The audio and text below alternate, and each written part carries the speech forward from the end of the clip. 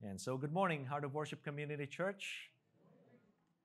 And those of you in live stream, what a blessed day that God has given us. It's the fifth day, right? December 5. And 20 more days. 20 more days, and it's Christmas Day. Just like that. Well, I'm not going to prolong it. Uh, let's just go ahead and get uh, into the Word. If you have your Bibles, get them and turn them to Luke chapter 2 our text for this morning.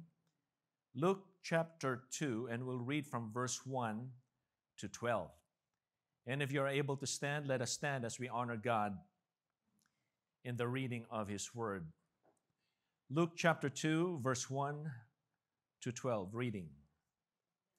And it came to pass in those days that a decree went out from Caesar Augustus that all the world should be registered. This census took place while Quirinius was governing Syria. So all went to be registered, everyone to his own city. And Joseph also went up from Galilee out of the city of Nazareth into Judea to the city of David, which is called Bethlehem, because he was of the house and lineage of David, to be registered with Mary, his betrothed wife, who was with child.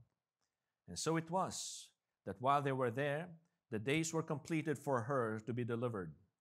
And she brought forth her firstborn son, and wrapped him in swaddling cloths, and laid him in a manger, because there was no room for them in the inn. Now there were in the same country shepherds living out in the fields, keeping watch over their flock by night. And behold, an angel of the Lord stood before them, and the glory of the Lord shone around them, and they were greatly afraid. Then the angel said to them, do not be afraid, for behold, I bring you good tidings of great joy, which will be to all people. For there is born to you this day in the city of David a Savior, who is Christ the Lord. And this will be the sign to you. You will find a baby wrapped in swaddling cloths, lying in a manger. Let us pray. Our Heavenly Father, even as we have read the account, the story of the birth of our Lord Jesus Christ, whom you sent into this world to save us from our sins. Lord, may your word not only refresh our minds, but rekindle the fire in our hearts of not only why we have Christmas and why we celebrate Christmas, but even why we are alive not physically, but spiritually, to be called your children of God. It's all because of Jesus Christ, whom you gave into this sinful world to be our Savior and even our Lord. And so let your word, O Lord God, as it was read, let your Holy Spirit now reveal it to us once again and give us, Lord God, the understanding, even a fresh understanding and revelation of the truths, even of that first Christmas night. So that, Lord God, you may use us not only to celebrate and proclaim the, the glories of Jesus, but to proclaim the good news to the lost, even amongst us or around us co workers, classmates, neighbors, families, and friends. So, Lord God, this is our prayer that we ask for the glory and honor of your name. In the name of Jesus Christ. Amen. You may all be seated. The title for today's message is More Than a Merry Christmas. The title for this message, again, is More than a Merry Christmas. As I've said earlier, 25 more days, I mean, 20 more days rather. Just like that, it's Christmas time. It's Christmas all over again. Now, what do I mean by more than a Merry Christmas? Well, the word merry means to be in high spirits or be in a festive mood so that there's excitement and laughter. And of course, there's nothing wrong with having excitement and being in a festive mood. It's not a bad thing at all. I think that's, that's part of the being human and the blessing that God has blessed us with emotions. But I believe God wants us to be more than just have a festive mood or have excitement during Christmas. Because excitement, remember, is a feeling or a mood. And we know that feelings and moods, they come and they go. And that's why, more than feelings and moods, God wants us to have joy. Real joy and lasting joy. That is to rejoice during Christmas and even after Christmas. Joy is an attitude. What kind of attitude? An attitude of gladness. In other words, God wants us to be glad. Yes, during Christmas and even after the occasion. Remember, God says for us to be joyful always. Rejoice in the Lord always. And of all people, we have really good reason to rejoice and to be glad, especially during the Christmas season. Why? Because of the reason. The reason for Christmas. We are glad not just because of the spirit of Christmas, the spirit of Christmas, which is giving. We like that. We get excited about the giving. Maybe not all of you, uh, but I'm sure we're all excited about the receiving part. Unfortunately, for many, that's what Christmas is the spirit of Christmas. And we have spent year after year rehearsing to ourselves that Christmas is not about that. Not about the festivities and all the paraphernalias, meaning the trappings or the furnishings, the peripherals, the stuff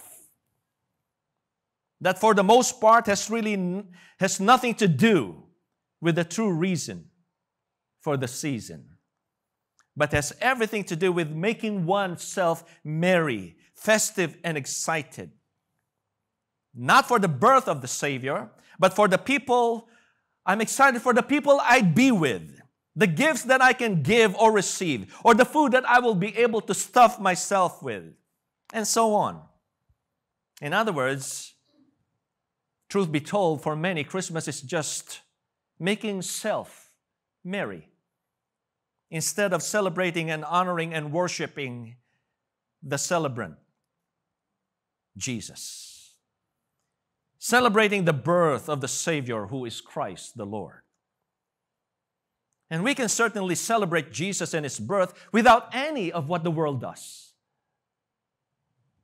And last year, because of the COVID scare, we had a taste of not being able to celebrate Christmas in the way that we normally would. And now they're promoting a new scare Omicron. Right? Like it's worse than COVID. We've heard the message of God do not fear. As Christians, there's nothing that we should fear. That is not to say that we are not going to have the emotion of fear, but not to be controlled by that emotion so that we are frightened and fearful. We have the Lord who promised to be with us, who promised to protect us, and if He allows us to get sick of whatever sickness, He is there to heal us.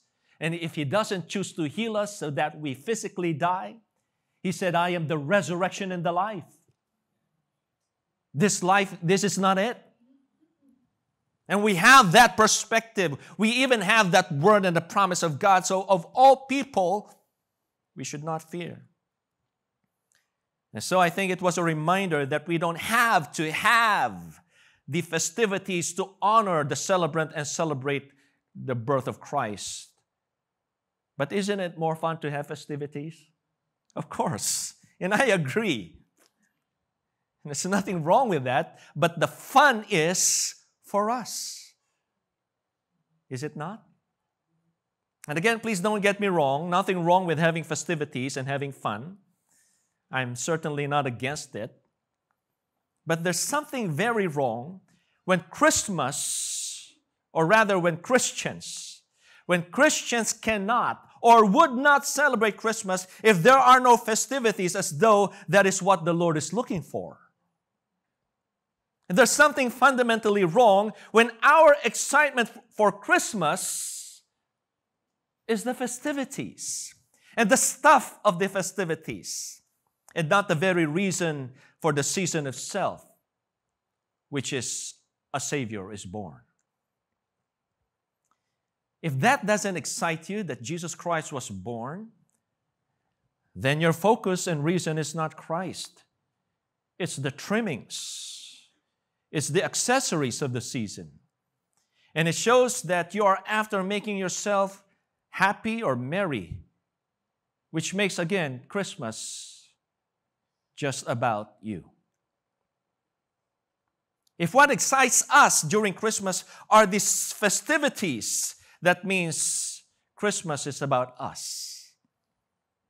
But if what excites us about Christmas is the simple reason of the birth of a Savior, then we have something that God has blessed us with, and that is joy that will never be taken away. Because this joy is not based on or dependent on trees and lights and foods and gifts and peoples and the gatherings, which can all be taken away. They can all be taken away. But instead, our joy, our gladness, and even our excitement is just on the fact that Christ, the Savior, is born. With that reason, we can truly celebrate Christmas regardless of whether we have or have not, whether we have the peripherals or the stuff or the extras or not. We can truly celebrate Christmas, whatever the situation or condition in life we find ourselves in. Gifts or no gifts, lights or no lights, people or no people, party or no party, healthy or sick, COVID or no COVID. Regardless of whether we have those or not have any of those, we rejoice. We have great joy, real gladness because Christ, the Savior, is born. That should be the only reason. Jesus is and should be the only reason. The rest, they are just extras. That's the view we take. And if we take that view, corresponding actions will come. This is important because listen, we eventually reveal whether we are a believer or not by the view that we take of this world, even Christmas time. How do we view Christmas? How do we view the world? Always through the lens of the scriptures, the Bible.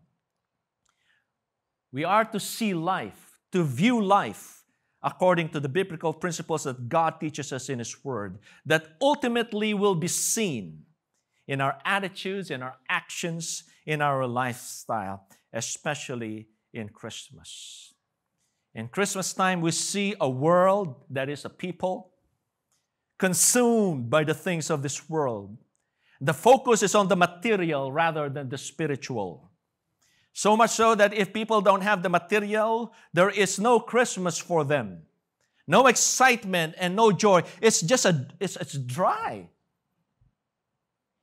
sad and lonely because they don't see, as in literally see, what they're looking for and don't have what they want in the world and what the world offers. Not believing that what they're all looking for is in Christ who was born. And so many, many pass away, especially during the Christmas time. This is what the Lord said in His Word.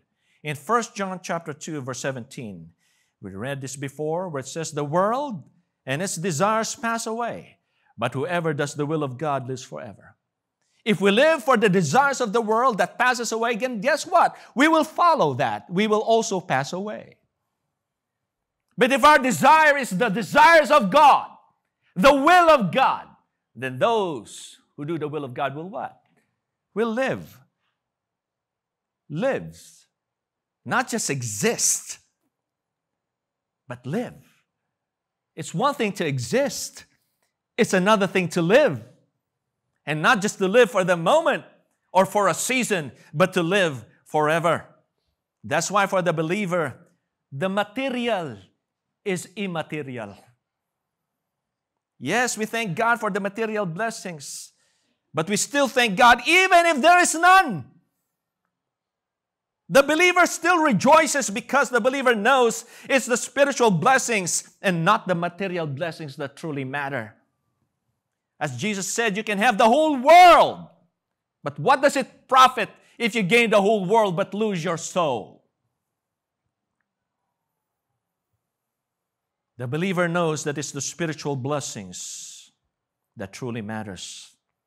If they have material goodies, that's fine. But even if they don't have, they still rejoice because of the eternal and spiritual blessings. The spiritual blessings of salvation that come through the greatest gift of all. The gift of God's only begotten Son, that is the Lord Jesus Christ, that the Bible describes as God's indescribable gift, that is in 2 Corinthians 9 15. We can use all the adjectives that we know, and after using all those adjectives, there's still more of Christ.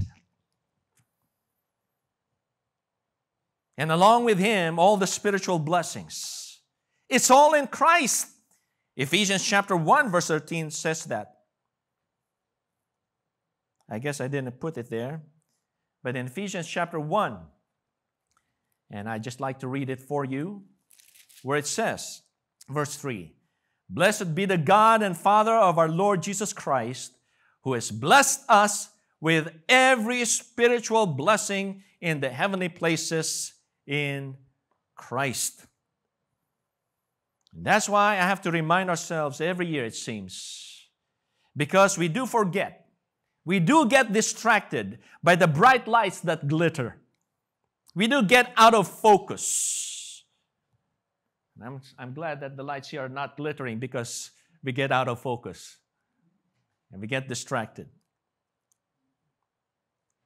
But we do get out of focus, especially with the uh, up to 70% science, science store wide sales. We get out of focus with the excitement of the exchange gifts and all the other celebrations and the festivities of the world. Again, nothing wrong with that. Okay? But that's, remember, that's not what the season is about. If we're blessed with those things, thank God. But if not, we still rejoice. That's why we need to fix our eyes on Him to make sure that Jesus, Jesus is our reason, for He is. He is the reason for the season. So, how do we do that? By making worship of Jesus a big deal. Let us make the worship of the Lord a big deal and the celebration of the world not so big of a deal. What do I mean by that? Well, when we can't have any of the extras of Christmas, no big deal. Don't make a big drama about it. But not to worship and celebrate the Lord. Make it a big deal. What? We're not going to worship the Lord, make it a big deal. We got to celebrate Christmas by worshiping the Lord. So, on the eve, for example, on the eve or on the day itself of Christmas, gather your family and worship Jesus. How? By reading His Word, particularly those that give the account of His birth, like the one that we have this morning. Then sing songs about Him and sing songs to Him Celebrate Him and pray to Him. Yes, you need, you and your family. Let the, let the head of the household lead and have the rest participate in the reading and the singing and the praying. Go over the story of his birth. Unfortunately, I grew up, not unfortunately, but I grew up having that practice but unfortunately, I grew up with many of my friends that I know that to them Christmas Eve or Christmas morning is the, the unwrapping And they're all excited. And after that, that's it. Let's eat. And after eat, that's a Merry Christmas. Where's the worship of the Lord? That's what I mean. Make, make the worship of the Lord the big deal so that if we don't have it, what are we doing? And so go over the story of his birth. And that's what we have this morning the story of Christmas.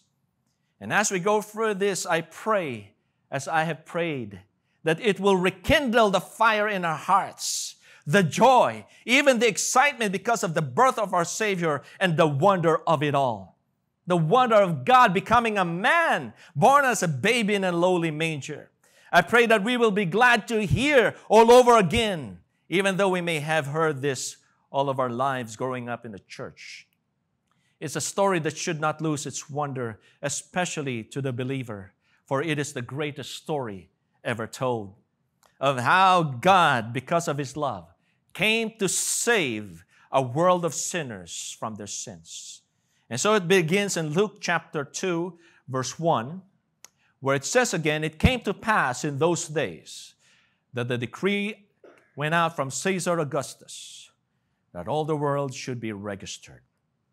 Notice that word, it came to pass.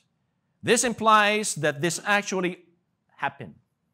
This is an event in history. It is recorded. It can be verified. It is historical. In other words, this is not a myth. It's not a legend.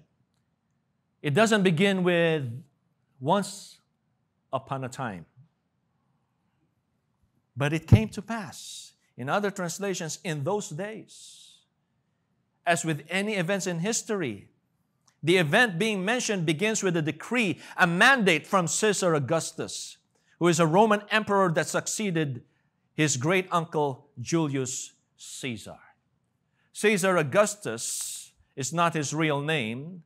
His real name is Gaius Octavius. Gaius Octavius, but he took on the title Augustus. Augustus or August means majestic, as in awesome, sublime, as in exalted, wonderful, which it's a mistake for him to take it upon himself. Because the real awesome and wonderful and exalted one was the baby that was born that night in a humble manger. And so Caesar issued a decree thinking that he is the one who is going to control the imperial dictator, despot of the time, and decreed that all the world, that is, all the people, should be registered. In other words, it was a census primarily for the purpose of taxation. And to add the validation of this historicity, of the historicity of the, the event, verse 2 says for us, the census was first took place while Quirinius was governing Syria. Another verifiable person, Quirinius, the one who governed Syria. And so, as a result of this, verse 3 says, So all went to be registered, everyone to his own city. This obviously included Joseph and Mary, his betrothed wife that we read in verses 4 and 5. Joseph went up from Galilee to, uh, out of the city of Nazareth into Judea to the city of David, which is called Bethlehem, because he was of the house and lineage of David to be registered with Mary, his betrothed wife, who was with child, meaning she was pregnant. That was, that's what with child means. And verse 6 says So it was that while they were there, the days were completed for her to be delivered. In other words, Mary gave birth. Verse 7 says, And she brought forth her firstborn son and wrapped him in swaddling cloths and laid him in a manger because there was no room for them in the inn. Why is there no room for them in the inn? We don't know. Everything else that you hear, explanation, that's, that's all speculation. The Bible doesn't say why. But there was no room for them in the inn. And so the baby Jesus was born in a feeding trough. That's what it is. Not really a stable, but a feeding trough. Now, even though it's not explicitly stated, explicitly stated, what we need to see here is the sovereignty of God. God who is in control, who is able to work all things to accomplish His will, His plan, and His purpose, particularly the plan of salvation that has been prophesied even from the book of Genesis all the way to the book of Malachi. The prophecy about the Messiah and the Savior. And that is what we are seeing here unfolding as we continue in verse 8 and 9, where it says, Now there was in the same country shepherds living out in the fields, keeping watch over their flock by night. And behold, an angel of the Lord stood before them, and the glory of the Lord shone around them, and they were what? Greatly afraid. In the old King James, it says they were sore afraid to describe the terror within them. I mean, wouldn't you? They're out in the field, dark, then suddenly from the sky, flying. I don't know if there was sound effects. I mean, you would be like sorely afraid. But then the angel tells them, verse 10, the angel said to them, Do not be afraid. For behold, I bring you good tidings of great joy, which will be to all.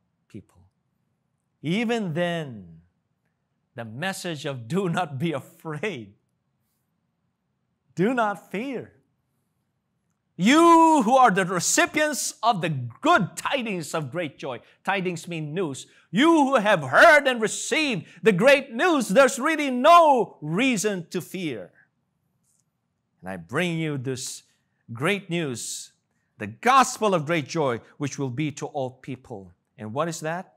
Verse 11 to 12. For there is born to you in this day, in the city of David, a Savior who is Christ the Lord. And this will be a sign to you you will find a baby wrapped in swaddling clothes lying in a manger. Probably the reason the sign is given is because there are other babies born. But this one is wrapped in swaddling cloths.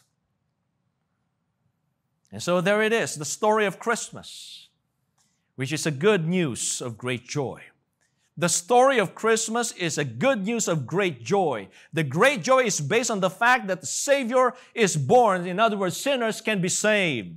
In other words, until sinful man experiences salvation, there is no real reason for joy or gladness. But it's not just joy, it is great joy, as in real and full gladness.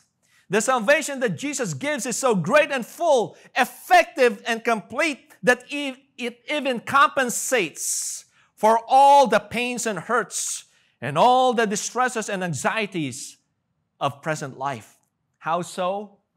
Well, that is what we will rehearse for us this morning as we now focus on verse 11 that we just read, where it says, For there is born to you this day in the city of David a Savior who is Christ the Lord. Notice that word born. What we have here, first of all, is incarnation. Incarnation. What is incarnation? It is God who became flesh, in other words, a man, by putting on humanity. As John chapter 1 verse 1 declares, in the beginning was the Word, and the Word was with God, and the Word was God. Verse 14 says, And the Word, that is God, became flesh and dwelt among us, and we beheld His glory, the glorious the, of the only begotten of the Father full of grace and truth. The incarnation, which is a mystery, a mind boggling truth. God became a man. We hear it so many times that it doesn't strike a wonder in our thoughts anymore. But no matter how we explain it, it's a truth that we will never completely grasp because it's just too wonderful. Think about it. The Creator became one of His creatures. Think about that. The infinite God chose to be in a finite human baby. The Almighty, all powerful God became a helpless little baby that needs all the help from his mother.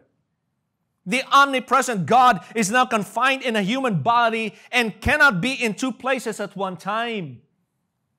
The all knowing God has to learn how to walk, how to talk, and grow in wisdom. The eternal Son of God humbled himself and put on flesh and became a man and go through what we go through hunger, tiredness, pain, hurt, troubles, temptations, and everything that we go through, even death. That's why Philippians chapter 2, verse 5 to 8 that we've read before, in your relationship with one another, have the same mindset as Christ Jesus, who being in very nature God, did not consider equality with God something to be grasped. Rather, he made himself nothing by taking this very nature of a servant, being made in human likeness. And being found in appearance as a man, he humbled himself by becoming obedient to death, even death on a cross. This is the baby that was born in that manger. He was God, fully God and man, fully man, both at the same time. Undiminished deity and true humanity in one person, and that is Jesus, the unique Son of God. There is no one else like him.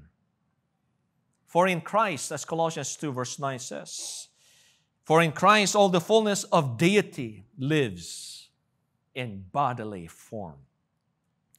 And so back to verse 11 of our text. For there is born, born what? To you. To you. This points to the personalization of his birth, of the Savior. In other words, it points to God's will, God's desire for a relationship with us. Think about this and remember this God is not a force is that Star Wars? May the force be with you. No, God is not a force. He's not an impersonal being. He is a person and wants to have personal relationship with you and with me and, in, and with everyone else who would believe in the Lord Jesus Christ. For there is born to you. He looks at individuals, not a group. And, and the individuals he chose to give this good news of great joy were shepherds. Now, shepherds in that time were people who were at the lowest rung of the social ladder. They were actually in the level of sinners, like the prostitutes. They were considered unclean and were despised and rejected and treated or looked upon with contempt, unworthy of respect. And it was to the shepherds that God directed this good news of great joy to give them and everyone else the understanding that God wants to save sinners. And God could save, and God loves to save sinners, just like the shepherds that the society didn't care about. And if God can save such sinners, then God can save anyone and everyone else. God can save you. This is the reason Jesus came to seek and to save sinners that is lost in their sin. As Jesus himself said in Luke 19, verse 10, For the Son of Man came to what? To seek and to save the lost. The truth is, everyone needs to be saved because the whole world is a world of sinners. And we all need to be saved because we all have sinned and we are all lost in sin. Some sins are just more obvious than others. But we all have sinned. And that is why this is good news of great joy, not just for the shepherds, but for all people. Remember that is in verse 10 that we've the, the angel said. The angel said to them, Do not be afraid. I bring you good news that will be cause, that will cause great joy for what? For all people. Why? Because all have sinned, as Romans 3.23 declares. And so back to our text for there is born to you. To you what? This day. This day points to an invitation. This is an invitation, and specifying the day points to the urgency, the urgency of the invitation. I mean, think about it. Why did the angels announce it that day? The angels could have made the announcement to the shepherds one week after the birth, or after a month, or even months, because Mary and Joseph and the baby were still in Bethlehem even after that night that he was born. Why make the announcement to the shepherds right there and then? Because remember, tomorrow is not promised for the shepherds nor for any of us. So that when God gives us an opportunity, that they may that that day may be the only opportunity. You know, only God knows our times, our days. Today is the day of salvation, as the Bible declares. So when God speaks and gives His word, and you hear His voice, you hear His invitation, especially for salvation, accept the invitation today and not tomorrow, because again, tomorrow is not guaranteed. As 2 Corinthians chapter 6, verse 2 says, For he says, In an acceptable time I have heard you, and in the day of salvation I have helped you. Behold, now is the accepted time. Behold, now is the day of salvation. Hebrews chapter 3 verse 15 says, while it is, while it is said, Today, if you will hear his voice, do not harden your hearts. As in the rebellion of the Israelites who did not listen to the voice of God. So the text says, For there is born to you this day in the city of David. In the city of David. And every Jew knows the city of David is Bethlehem. So, what we have here is the consummation. The consummation, in other words, the fulfillment of the prophecy that is found in Micah chapter 5, verse 2, where it says, But you, Bethlehem Ephrathah, though you are small among the clans of Judah, out of you will come for me one who will be ruler over Israel, whose origins are from of old, from ancient times. And along with this prophecy of the birth there in Bethlehem is the birth of the child that Isaiah prophesied in Isaiah chapter 7, verse 14. Therefore, the Lord Himself will give you a sign. The virgin will conceive and give birth to a son and will call him Emmanuel. And then in chapter 9 of the same prophecy of Isaiah, chapter 9, verse 6, for unto us a child is born, unto us a son is given, and the government will be on his shoulders, and he will be called Wonderful Counselor, Mighty God, Everlasting Father, and Prince of Peace. These prophecies and all the prophecies that matter, that had to do with the first coming of the promised Messiah, they were all fulfilled by Jesus Christ. Some people ask, why do you believe the Bible? Well, this is one undisputed reason why we believe the Bible. Because of the fulfillment of Old Testament prophecies about the Messiah. It was all fulfilled in Jesus Christ. So there is born to you this day in the city of David a what? A Savior. A Savior pointing to our need for salvation. We need a Savior because we need salvation from sin. We need a Savior because we cannot save ourselves. We fall short. We don't measure up. No one does. Because of our sin, we are all condemned and doomed. We are all helpless by ourselves and hopeless in ourselves. We need a Savior. And the good news is there is a Savior. And the Savior was born in that manger in Bethlehem, the Lord Jesus Christ. He is, He is the only Savior who can save us from our sins. Money can save you. Good works can't save you. The church can't save you. Any pastor can save you. A psychologist can save you. A doctor can save you. Politicians can save you. The government can save you. Religion can save you. A priest can save you. I can't save you. I can't even save myself. There's only one name.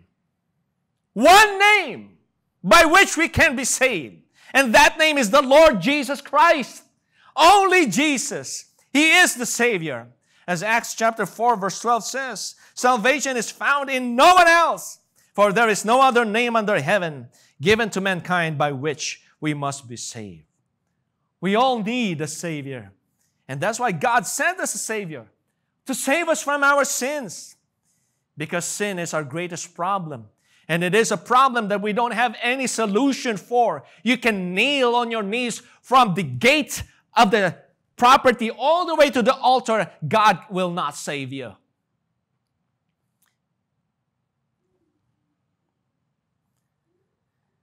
So God sent us a Savior to save us from our sins because sin is our greatest problem. The sin problem is an impossible problem for us and salvation from sin is our greatest need. And God knows that we can't save ourselves. And that's why He sent us His Son. And that's why the angel said, I bring you good news of great joy for all people. The Savior is born. There is a Savior.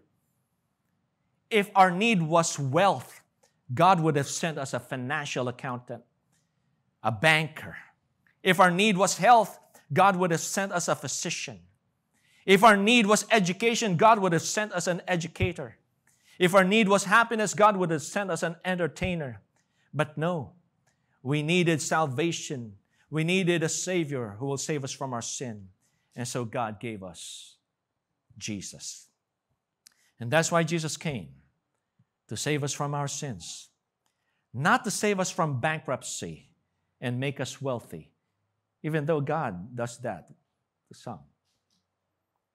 Jesus didn't come to save us from physical disease and make us healthy, even though God does that when we pray. But that is not the reason God came. Oh, yes, God blesses us with our material and physical needs. But remember, He also blesses the non believers. There are a lot of non believers who are healthy and wealthy with their physical and material needs. And that is not why Jesus came. He came to save us from our sins. And all these false teachers that are attracting so many people who promised the people if you just have faith in Christ, you can name whatever you want in the name of Jesus Christ and you will have your fancy car. You will have your mansion. If ever you're sick, just name it and claim it in the name of Jesus, and you will be healed. And many people died. And so they come, come out of this Christianity disillusioned. I prayed, I even fasted, and my loved one died. Why? Because Jesus didn't promise. He didn't promise that. He promised salvation from sin to those who believe. When was the last time you hear, you hear that from all these false teachers? You won't. Listen, Jesus didn't even come to make our lives better. Jesus didn't even come to make our lives better. He came to give us life, not to make our lives better. He came to give us life because we are all dead in sin. Jesus came to give us life and to bring, to, to, for us to have it in abundance, that he said in John chapter 10, verse 10. Abundant life. And that is abounding with joy and peace in spite of the troubles that we go through in life. A quality of life that is not dependent on the abundance of, or lack of material things or the condition of our physical health. God wants us to abound with all the virtues of life that we long for in spite of the situations or conditions of life here on earth. And that is what God gave us in Christ. In Christ, we have the victory over all these things, for he has overcome the world. This is a quality of life that only children of God possesses because of the Savior who was born in Bethlehem. This is the good news of great joy of Christmas. There is a Savior, and He was born about 2,000 years ago, and His name is Jesus. His very name, Yeshua, declares, The Lord is my salvation, as Matthew 1 21 says, She will give birth to a son, and you're to give him the name Jesus because he will save his people from their sins. But the sinner needs to call on his name the name of the Lord and believe in his name to be saved. As Romans 10:13 says, for whoever calls on the name of the Lord will be saved. And in Acts 16:31, they said, "Believe on the Lord Jesus Christ, and you will be saved, you and your household." How can this baby who was born in a manger save us? Well, because this baby did not remain a baby in a manger, the baby grew up to be a man and was crucified on a cross where he died for your sins and my sins and the sins of the whole world. He took the penalty, that is the payment, the condemnation of our sins. He took it upon himself and bore our sins. And he paid it all with his precious and sinless blood so that whoever will believe in him, whoever puts their faith in him, will not perish, will not be condemned ever, will not die, but have eternal life. For there is born to you this day in the city of David a Savior. How can he say? Because he is the Christ. He is Christ. This points to his identification. Who is the Savior? He is Christ. Christ means the anointed of God, the Messiah, the deliverer who will deliver us from our sins. Jesus, the Savior, is the Christ, the one who was prophesied, anointed as in chosen of God, anointed to be king, to rule and reign in our hearts and in our lives, anointed to be our high priest, to represent us to God anointed to be the prophet of God, to speak to us the word of God, who himself is the word of God. He is Christ. And not only is Christ, it says there, He is the Lord. The Lord. This points to His exaltation. Jesus, Lord, at thy birth Though he went through the humiliation in his becoming a helpless little baby, which is true humanity, we see his exaltation in his being Lord, that is, undiminished deity. Jesus did not cease or stop being God. He just clothed his deity with humanity. Veiled in flesh, the Godhead see. Hail the incarnate deity. The baby that was born is Christ, the Lord. The Lord as in Yahweh, Jehovah, God, God in the flesh. That's who Jesus is. The Son of God, whom the Father exalted, equal to himself, as Philippians chapter 2, verse 9 to 11 declares. Therefore, God, that is the Father, also has highly exalted him, that is Christ the Son, and given him the name which is above every other name. That at the name of Jesus, Every knee should bow of those in heaven and of those of earth and of those under the earth. And that every tongue should confess that Jesus Christ is what? Lord. And that's no longer a title. That Lord is now His name. Lord to the glory of God the Father. Yet the Lord, the Lord Almighty God, put on humanity and became man. So he can be what? He can be with us. As Matthew 1 23 says, Behold, the virgin shall conceive, or shall be with child, and bear a son, and they shall call his name Emmanuel, which is translated God with us. And when you believe in him, he becomes God in you. God in us in the person of the Holy Spirit. This is the good news of great joy for all. It is a good news because if Jesus was not born, we don't have a Savior. There's none of this. You can have all the trees and all the lights. We're all still going to an eternity without Christ. But thank God He came. If He didn't come, we will still be in our sins, lost and helpless and hopeless, because no amount of good works that we do can satisfy the perfect standard of a holy and righteous God that He requires. Even if we sincerely attempt to please God with all the good works that we know, we all fall short. And because of that, we will pay the penalty of our sins, which is eternal separation from God who is holy, eternally condemned in an eternal place called hell. For the wages of sin is death, but the gift of God is eternal life in Christ Jesus our Lord. That is the good news. There is a Savior. As one song says, there is a Savior. What joys express! His eyes are mercy, and His word is rest. For each tomorrow and for yesterday, there is a Savior, and He lies our way. Are there burdens in your heart?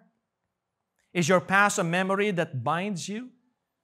Is there some pain that, you're, that you have carried far too long? Then strengthen your heart with this good news. There is a Savior, and He has forgiven you. But you need to believe in Him in your heart. You need to trust in Him. Put your faith in Jesus, the Lord.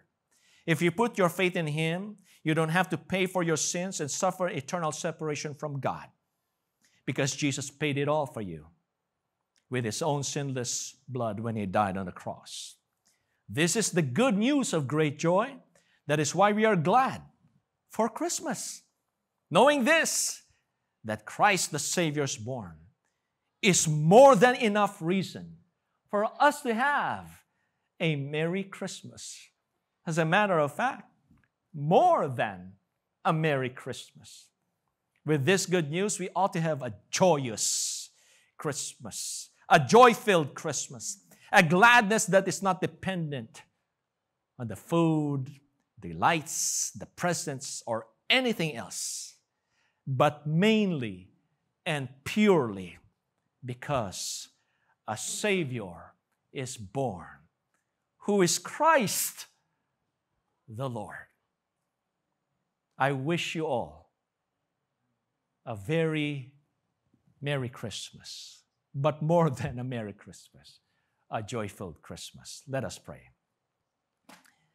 Heavenly Father, we thank you for your word. Although we have heard and read the story so many times, oh Lord, it's easy for us not only to be distracted, forgetful,